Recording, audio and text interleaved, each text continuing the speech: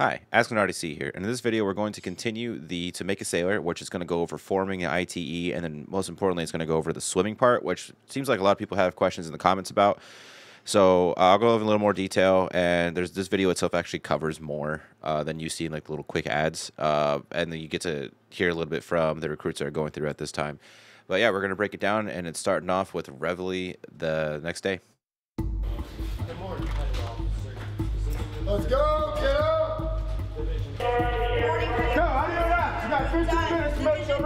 wake up every morning and I'm like, I'm really in Navy boot camp. Good morning. Us. Right. So a couple things that we saw. One, right when they entered, the lights were off because that's because it's between taps and Reveille. They turn off the lights, the white lights, and they turn on the red lights. The red lights is because in the Navy you can't uh, see that spectrum of lighting, uh, or it's the the spectrum of lighting that doesn't go as far as the rest of the spectrum of the light. So we use red lights at nighttime in the fleet whenever it's sunset to sunrise, uh, and then so darken ship we turn off all the white lights and we turn on red lights. Um, so here we do it the same thing in the compartments on in uh, boot camp. Uh, additionally, you could saw that when the first came in, all the RDCs came in at once. It's because we actually have a POD, as you can see up here. There's a bunch of papers, right? Uh, these are all things that are welcome for you to look at as a recruit. It's up to recruits and RDCs to update this board, and one of them is a POD or plan of the day, or in the fleet we like to call it plan of deception. Uh, so it will tell you when bedtime is and when reveille is. Uh, so it's not really a surprise. It's not like they're just gonna bust in and wake you up. Um, they're you're gonna know uh, when you're gonna be expected to wake up. Uh, but here, here as well, you can see this is the watchstander. Uh, it's probably the roving security watch. Um, but this poster here, it's changed a couple of times, but for the most part, it's the same. And you can actually Google it online if you just look up uh, sound off procedures, RTC boot camp, something like that. And his job here is to follow the 11th General Order to be especially watchful at night and during the times for challenging, to challenge all persons on or near my post and to allow no one to pass without proper authority. So he's challenging Chief right now, and that's what you do. Any staff member that comes in, not another recruit, you're going to challenge the staff members. If you see another recruit, obviously, if it's your own recruit, no big deal, just let him in. Uh, but if the it's a recruit that's not yours or someone of the opposite gender, do not let them in. Stop them at the door. Tell them to state their business. Halt, state your business. But this, he's challenging. So it's really simple. Uh, it's broken down to uh, if he's not an officer, he's a chief. So good morning, sir, ma'am, or title. So good morning, chief, seaman recruit, whatever this guy's name is, division 229, Roving Security Watch, standing by for further instruction, chief. So it says sir, ma'am, or title again. It's because we're sandwiching. Uh, you start and end it. Um, as a recruit, what's two plus two? Chief. Two plus two is four. Chief. It's sandwiching, right? Uh, so expect that to happen a lot. Uh, anytime a staff member comes in, it's going to happen a very lot. Uh, make sure practice this to sound it properly, and then usually what happens is they'll ask you a question that you should know during a personnel inspection. You know, who's the president of the United States? Who is the ship's LCPO? What is the pay grade of uh, a lieutenant? They're going to ask you questions, uh, and they're also going to inspect your deck log, uh, which is just to the right of this recruit. and it's we use these in the fleet as well. Uh, but here at Recruit Training Command, you would just use them to log basic entries such as Reveille, when the what the division's doing, if they're going to chow, if they're going to PT, uh, securing the watch, uh, whether or not the roving security watch made a tour, stuff like that. And it's all inspectable and it's made to written in a very cookie cutter way to the point that they know if you made uh, entries incorrect. So expect that a lot. And RDCs expect the recruits to be sounding off every time you enter a space. Um, it's part of training. Let them finish. Uh, unless you're in and out in really hurry, you usually hear people say carry on watch as soon as they say good morning, and you're like, no, carry on. Let them finish it off, let them practice, and then ask them a question. It's good for the training. You're there to train them. Quit stuttering. It doesn't feel like we're here, and it's like you go to sleep and you wake up, and, and then you look around and, And you're you're like, here. oh crap. You shaved it? Yes, petty officer. When? Last night, petty officer. Did you shave this morning? No. So this part's pretty funny, right? Uh, so one, keep in mind RDCs, you're going to be inspected by all the time by recruits. All the time, recruits are inspecting you. You, they're not. There's no recruit inspection of RDCs. What I'm saying is, you're walking around, you're wearing this uniform, you're telling them what to do all the time. You're teaching them the rules of what you can and can't do. So understand, they're going to be looking at you to make sure you do that. So making sure that you're shaved as well and you're wearing your uniform properly and looking sharp, good haircut, just like this petty officer has right here. Uh, so as a recruit, you're going to shave. Uh, if you're a male, you'll shave every day, sometimes twice a day. You'll shave in the morning and then you'll shave before watch. If you have peach fuzz, that counts as shaving. So uh, you get inspected all the time as a recruit. You're always under inspection as well. And RDC walks by, they're they're checking you to make sure you're proper and where you're supposed to be, wearing the right thing, and doing the right thing. Uh, and as you can see here, as he's uh, inspecting this recruit's shave, this guy over here on the side is just touching his face. He's like, "Oh man, did I shave?" So you know, just make sure you're doing the right thing. Petty officer. Or within the last hour, No petty officer. go shave. All right, petty officer. Now we're in our permanent ship. It's a heightened amount of stress. So just real quick, she said now we're in our permanent ship. Uh, what she's saying is, is that, like I said before in the previous video, when you're going through P days or processing days, you're going to be in the Pearl Harbor. Uh, and then once you've done that, you're go uh, across the other side of the base to the MTS side, and you are in a ship or barracks, whatever you want to call them. But you're in that compartment until you graduate or until you get ASMOD. Uh, but that's your permanent ship, quote unquote. That's the one you're going to be on. So love it, take care of it, get used to it, and you know just make sure it's always on point. Do your part. because there are so many more pairs of eyes looking at us. Hurry up. Um, it's stressful at the moment. I'm trying to get. Um, So right here in this pet officer's hands is as the recruit training guides book. So it's this recruit's training guide. Uh, as a recruit, you're going to get it. It's going to have all the information you need for all the classes you go to. It's going to give you the information on the basic like 11 general orders, your rank and recognition, chain of command, and if you go to a class about you know naval ships and airplanes, it's going to have the powerpoints in there and like the things for you to study because you're going to take uh, academic tests while you're in boot camp as well, which are also uh, if you fail that, you will get sent back, kind of a thing. So make sure you're paying attention in class. This is all the stuff you need to know as a basically trained sailor, regardless of what your rate is going to be. So, uh, and also don't write silly things in there because it's going to be inspected at all times. used to it, I guess. I believe with Division 229 when we first switched from P days where we were coaching most of the time to week one where we were holding them accountable, it scared a few of them that they weren't going to be able to meet the standard that we expect them to hold. Everybody on your faces, now. You can't hack into what? You ready to quit? You want to quit? I can get you out of here. All recruits, when you first pick them up from basically civilians and then get them into the week one So as you can see here, uh, this is called ITE or intensive training exercise, or as recruits like to call it, getting beat. Uh, but that's not the proper term. It's ITE. Uh, so this is to correct a deficiency and to motivate um, recruits to, you know, work as a team to improve. Uh, it's multiple things in reality. Uh, as an RDC, use this as a motivational tool. Uh, you utilize this if they you're not moving fast enough. You want to give them a little motivation to move faster, make them do some push-ups. But the great thing about this is I would like to utilize this um, whenever I noticed that if a recruit was not getting right and I need to lose a ITE, and I would know, hey, this recruit's starting with their push-ups. I would start with push-ups. This recruit can't do planks or or, or sit-ups. I would start with sit-ups, leg lifts, whatever the core workout is on the card.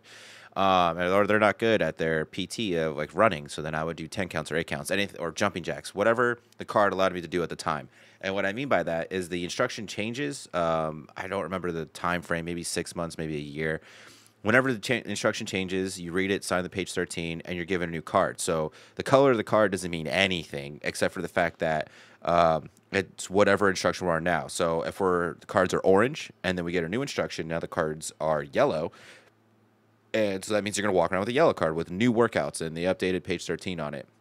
Um, so if someone sees you walk around with an orange card and we have the new instruction, it's a yellow card, then they know that you're not utilizing the updated instruction, and you have to have this card in hand, visible while you're doing the workouts.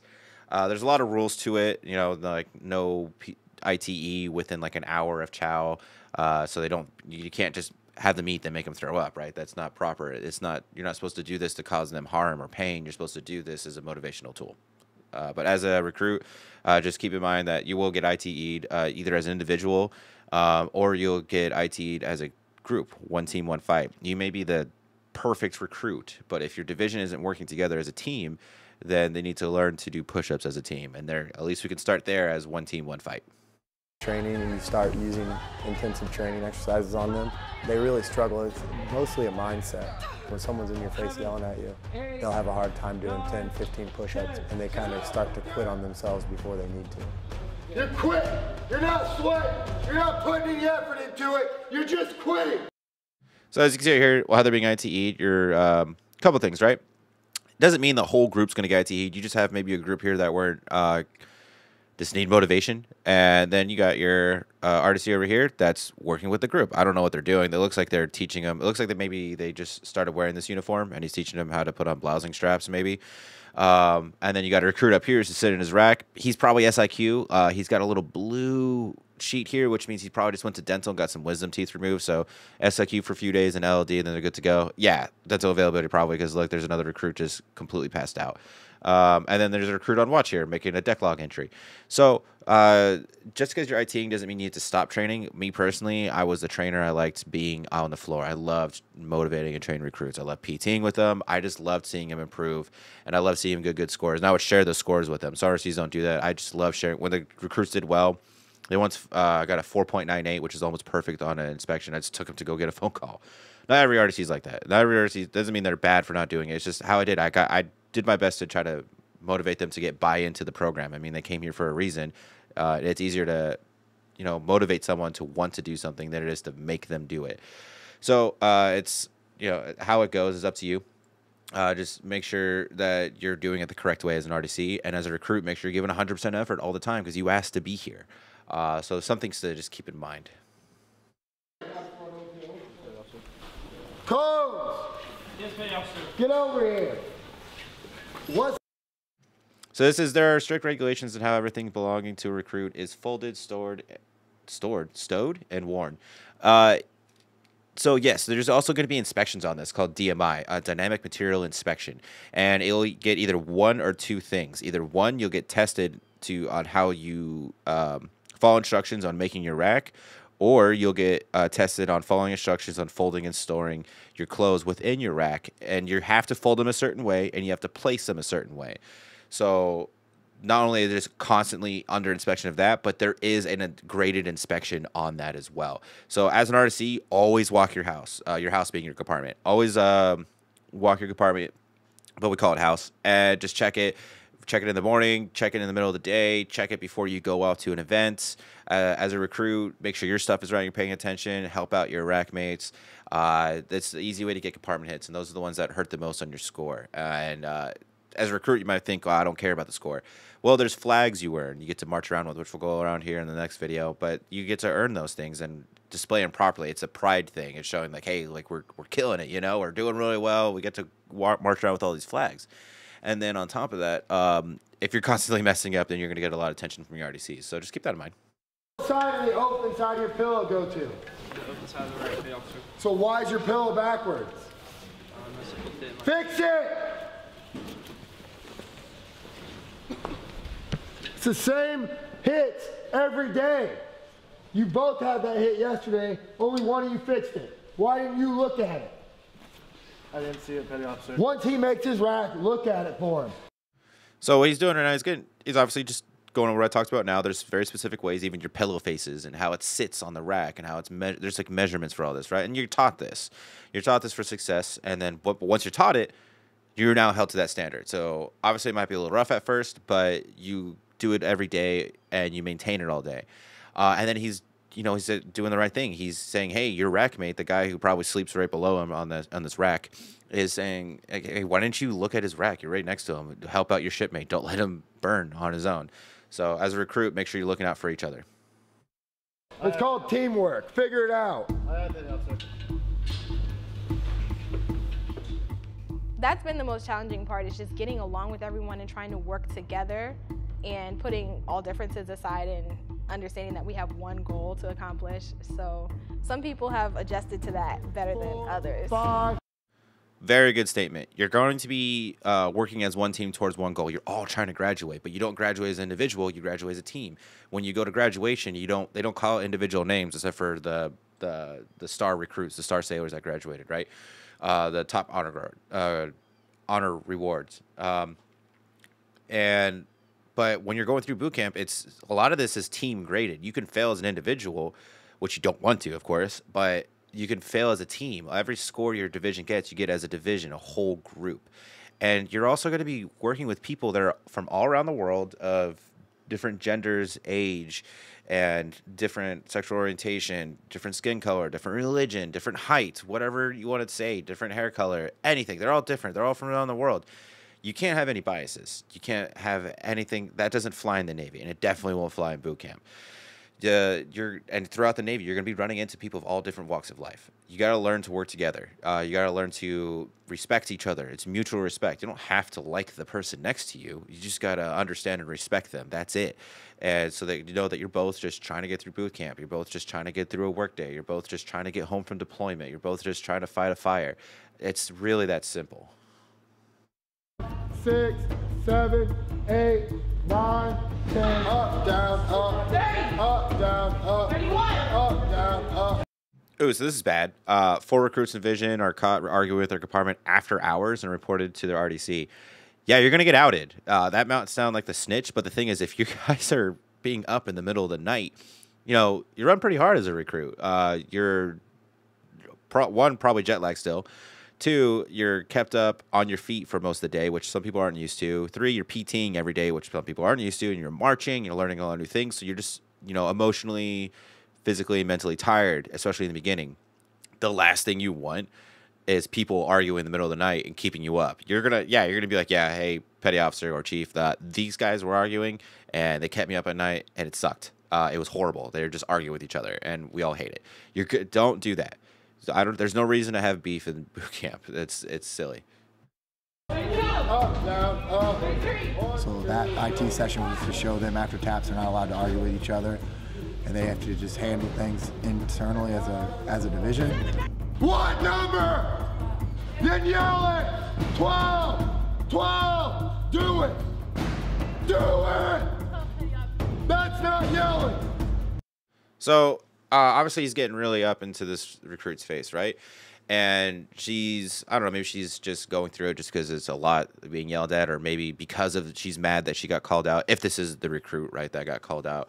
Uh, but regardless, she's obviously having a little bit of a I don't want to say a bad attitude, but she's she's feeling herself a little bit with her emotions, and when that's normal, you're gonna feel that as a recruit uh, you're it, this is probably a new experience. Not everyone grew up getting yelled at in life. Hopefully, you didn't, right? Uh, so it's definitely weird when someone gets in your face and yells at you, and you gotta understand they're not gonna yell at you for the way you look or or anything like that, uh, or the way you talk, unless you're you know obviously you're supposed to sound off and you don't sound off properly, but that's different. Um, they're going to call you out on your character and your actions, what you do. What you do matters. What you say matters.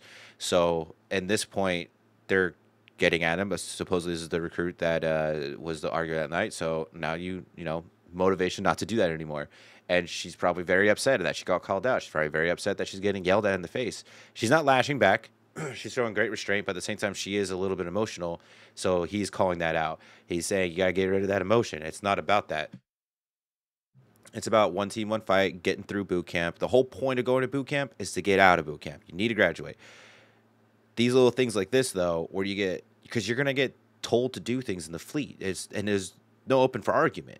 Sure, maybe you to have a discussion about how you want to do things differently or for or better, but eh, you know, if someone of a, who's in charge of you tells you to do things, can't have an attitude about it. That doesn't fly. So she'd rather just have an attitude, and he's just calling it out, and it's okay. It, work through it. Do your best. Don't lash back. Definitely don't lash back. But they'll work with you they might consider they might even think about i would like to challenge those that had a little bit of attitude with me and give them positions uh, within a division uh, of responsibility. And then they kind of take that in ownership and they grow. Everyone's the same. It didn't work all the time but just understand hey as an rc you're going to have this problem it's always been a problem throughout the generations every single generation it's not just this generation it's our generation too whatever you want to say and as a recruit, don't feel yourself like that. Let it go. It's not personal. It's never personal. They're doing exactly what they need to make sure that you learn to take orders and do the right thing without having a feeling about it. There's there's there's no need to have feelings about it. Yell 12! 12, petty officer. No one feels sorry for you, Coleman. No one. You want to be a part of this? You want to act like them? You're going to pay for it just like they do. But they can't bring every situation to the RDCs, and also they can't argue with each other like they're still in high school. They need to realize that they're grown women and across the hall men, and they need to handle it amongst one another. I don't want to hear one recruit knocking on my door telling me, see me recruit so-and-so did this. Handle it amongst yourselves like grown women. You understand? Uh, so what he's saying, right? Like, he doesn't want to hear about it because you're going to have discourse. This is natural, right? Like I said, because of that, of everyone coming from different places, you're going to have it. And there's going to be those things where you're going to have like um, a, a, a meeting of the council, right, of recruits, and like, hey, we just need to figure this out and just squash this and move on and just graduate. Uh, you're going to have that. It happens all the time. And as an RDC, it's good when they do that. They're coming together. They're learning to deal with their problems and work as a team of people that they've never met before in their life. This is great. Um, encourage it. Encourage the idea that they can self-regulate, which is exactly what you do. You don't want to be on recruits all the time. It's exhausting. If they can learn to handle their own problems and then move on to where they graduate, that's great. And I, I would encourage it. Just be also be careful that they're not trying to collaborate to do something that's um, against the rules. When you come to boot camp, it's not just about me as an individual, it's about us as a team. They're not sure who's going to step up and take leadership positions, who's going to help support those leaders. So it's just a forming stage at the very beginning of boot camp where they learn how to come together and work so together. 1400, head on spot, same time entry, forward hold on spot. Understand? I'm kind of learning leadership. There's a chain of command in our in our division. I am a head. Uh, I'm a head PO. Just I clean the head, I clean the bathrooms. I actually enjoy doing it. I actually like to keep it clean. And what I don't enjoy is people not listening to to what I tell. So so two things there. One, I'm just gonna go and knock this out. Yeah, uh, kind of stinks when people don't do what they're told, huh? Yeah, guess how it feels as an RDC when you have sometimes recruits that act out and don't do what they're told. It's like, wow, you came here, you on your own, right? Venting a little bit, but yeah, it definitely stinks. Um, but you might think it's silly that he's the head PO, but no joke, that is an extremely important job. Um, underappreciated. Uh, I usually give him the uh, praise they deserve. One, they're cleaning up the head. There's like a group of them. Usually, it's like four or five of them that are with the with one head PO, and you got your head crew. They people love inspecting the head because no one likes cleaning the head. Uh, so it's important that you know they're going in and they're cleaning up after you uh, as a fellow recruit, right? And they're it's their job to make sure it's it's ready for inspection and clean at all times. Showers, sinks, urinals, toilets, doesn't matter. Floors, mirrors. They're they're making sure it's always on spot. The only time it's off spot is when you're taking showers, uh, or we're doing cleaning stations for it. Uh, so other than that, it has to always. You use the head, they're gonna probably walk in after you and make sure that you wipe down the seat properly. The toilet paper is facing at 12 o'clock. The sink is clear. You didn't splash onto the mirror. You didn't drip anything on the floor. Uh, there's no, you know, trash on the floor from you drying your hands. Uh, so he's going out and he's setting rules. Hey, the, he's usually setting rules to like, hey, if we just use you know these stalls instead, it's easier to keep clean um, whenever it's like off hours kind of a thing. So we don't have to clean every single stall all the time. They're gonna come with these rules. They're recruit rules. There's not real uh, RTC rules or anything like that. Uh, so as an RDC, no, you can't really enforce that. Uh, you can't tell a recruit not to use certain heads. But if they come up with their own thing where they want to clean, you know, utilize one head and wait in line instead of using multiple of the urinals, um, okay, cool, let them do it. Uh, but you can't punish them for going outside the rules. That's another in-house thing they have to figure out. So head PO, much respect. It's a very underappreciated job, and there's other jobs too, like RPOC, AROC, stuff like that. And that's when being a team comes into part. Make sure you only hit hey, please. In the shower.